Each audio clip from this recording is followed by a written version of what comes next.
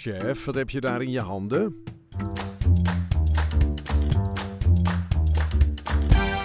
Oh, het eetmaatje.